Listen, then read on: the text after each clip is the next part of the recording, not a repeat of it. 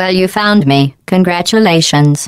Was it worth it? Because despite your violent behavior, the only thing you've managed to break so far is my heart. Maybe you could settle for that and we'll just call it a day.